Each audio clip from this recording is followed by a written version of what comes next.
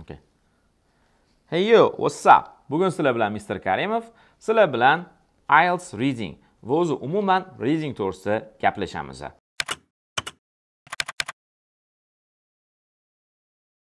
Ko'pchilik o'quvchilar IELTSga tayyorgarlik jarayoni boshlagan paytda birinchi marta uzun, misol uchun 1 betli, 2 betli tekstni ingliz tili tekstni o'qishadi. Ungacha hech qanaqa unaqangi uzun tekstni o'qimagan bo'lishadi. Bu ularni birinchi xatoligisi. Shuning uchun agarda sizlar ingliz tilini hozirgi kunda o'rganayotgan bo'lsanglar, unda kitobinglarni o'zidagi qisqa-qisqa tekstlardan tashqari boshqa tekstlarni, uzunroq tekstlarni ham o'qishga harakat qilinglar. Bular kitoblar bo'lishi mumkin, hikoya kitoblar. Undan tashqari internetda ham juda ko'p maqolalar topishingiz mumkin. yoki o'sha newspaperlarni yoki journallarni elektron variantlari bor. Bularni topib o'qinglar. Misol uchun nima bo'lishi mumkin? The economist yoki the financial times bo'lishi mumkin new york times bo'lishi mumkin yoki the washington post. Bularni ochinglar va xabarlarni o'qinglar. Bu orqali sizlar ingliz tilinglarni sinfxonadan olib tashqariga olib chiqqan bo'lasizlar va o'sha yerdagi tashqi dunyodagi ingliz tiliga ham o'zinglarni moslashtirgan bo'lasizlar. Va bu orqali sizlar ingliz tilidagi boshqa yana so'zlar e, faqatgina kitobinglarda emasda kitobdan tashqarida bo'lgan so'zlarga ham sekin sekin o'rganishni boshlaysizlar bularni hech topolmasanglar ham o'zimizni o'zbekistondagi news saytlar bor. Bu news saytlarni albattaki ingliz tilida rus tilida va o'zbek tilida variantlari bor. Misol uchun bu istalgan e, o'sha saytga kiringlar va eng tepa qismida o'zbek rus ingliz deb yozilgan joyi bo'ladi va ana o'sha yerdan ingliz tilini tanlasanglar o'zimizni o'zbekistonda yoki dunyoda bo'layotgan xabarlarni inglizchasi bo'ladi. Ana shu xabarlarni o'qinglar. Bu o'qish orqali sizlar ikkita narsaga erishasizlar. Birinchisi so'z boyliginglarni orttirasizlar. Ya'ni kitobni o'zidagi so'zlar emasda tashqaridagi so'zlarni ham o'rganasizlar. Ikkinchisi bo'lsa o'sha yozilgan tekstni tiliga moslashasizlar. Tili deganda bu ingliz tili emas uni yozilish uslubi yokigi uni bermoqchi bo'lgan messejini tushunishga harakat qilasizlar. Ielts readingdagi muammo ham xuddi shu narsa. O'tdagi tekstlar juda murakkabroq passive voicelar ko'proq ishlatilgan higher level grammarlar ko'proq ishlatilganligi uchun o'quvchilar o'sha gaplarni o'sha paragraflarni o'qib uni tushunib olib aynan nima demoqchiligi o'sha yerda nima messej bermoqchiligini tushunishda qiynalishadi. Shuning uchun sizlar ieltsga tayyorgarlikkacha o'sha man aytayotgan tekstlarni o'qiydigan bo'lsanglar o'sha narsaga ko'proq sizlar o'zinglarni o'zinglar o'rgatgan bo'lasizlar. Va undan keyin ielsga kirasizlar tayyorlanishni boshlaysizlar va oldinglarga reading kelganda bu qayoqdagi anavi marsdan kelib qolgan bitta tekst bo'lmaydida ha bu man anavi new york timesdan o'qib yurganim yoki e, the economistdan o'qigan anavi e, bitta artiklga o'xshaganroq tekst ekanda deysizlar va tushunishinglar u yerda yozilgan e, messajlarni tushunib olishinglar writer nima demoqchiligi yoki bu gap orqali o'zi to'g'ri narsani aytyaptimi noto'g'ri narsani aytyaptimi buni tushunib olishinglar oson bo'ladi. Misol uchun ko'pchilik o'quvchilar readingdagi true false xato qilishadi.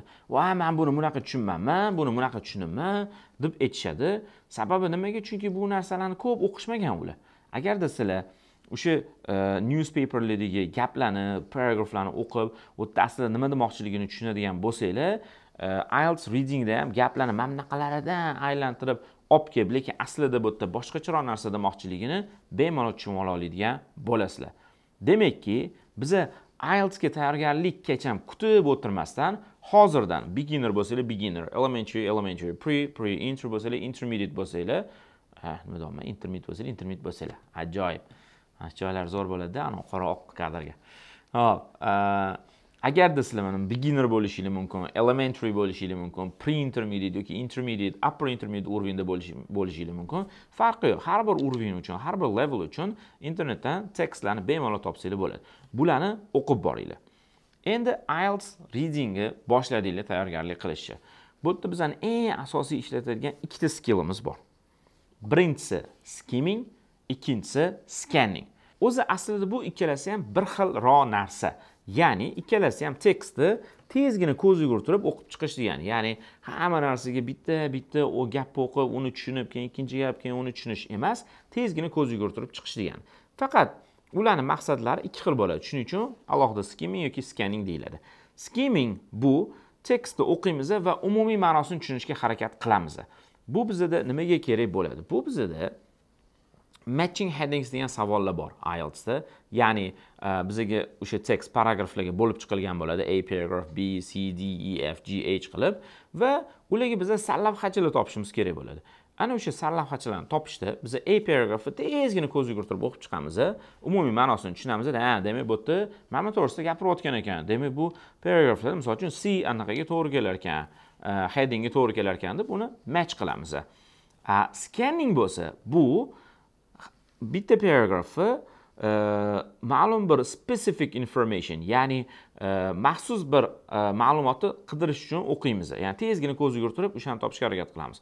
Bular nimalar bo'lishi mumkin? Misol uchun yillarni topish uchun bo'lishi mumkin yoki kimnidir ismini topish uchun bo'lishi mumkin yokigi bu qanaqadir adjektiv so'rayotgan bo'lishi mumkin o'sha adjektivni topish uchun bo'lishi mumkin.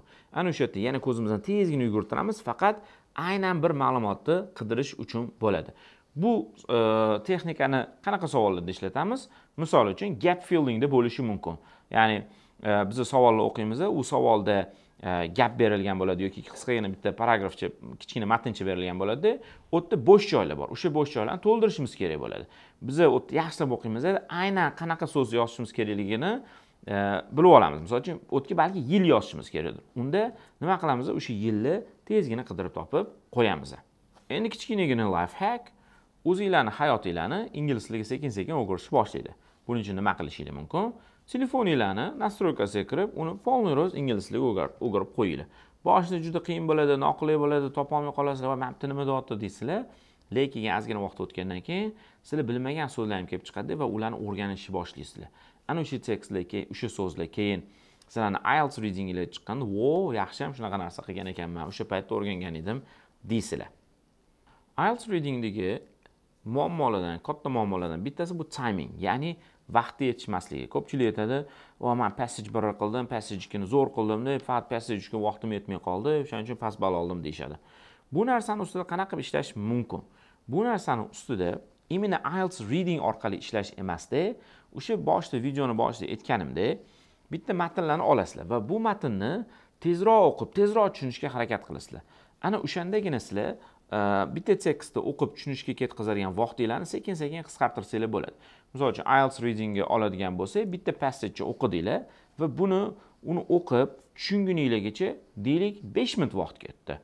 Ana endi sizlar man aytgan e, uslubda boshqa bitta tekstlarni olib o'shalarni tezroq o'qib umumiy ma'nosini tushunishga harakat qilsanglar unda sizlarni shu besh minut besh minutinglar to'rt minutga uch minutga ikki minutga tushadigan bo'ladi. Ana o'sha shu orqali sizlar vaqtinglarni ekonom qilsanglar bo'ladi. Videoni oxirigacha ko'rganlar uchun bitta yana bitta life hackimiz videoni boshida aytganimdek anu newspaperlar yoki journallarni o'qishdan oldin ya'ni bularni topish qiyin bo'layotgan bo'lsa yoki birdaniga ularni o'qib ketishinglar qiyin yoki uni tushunishinglar qiyin bo'layotgan bo'lsa birinchi bo'lib balki ertak kitoblardan boshlashinglar mumkin yoki hikoya kitoblardan boshlashinglar mumkin. Bularni sizlar hozirgi kunda yurtimizdagi yoki toshkent shahridagi istalgan kitob do'konlariga kirib manga ingliz tilli kichkina hikoya kitoblaringlar bormi desanglar albattaki topiladi ja bo'lmasa chorsuga boringlar chorsuvda kitobchilarda bor.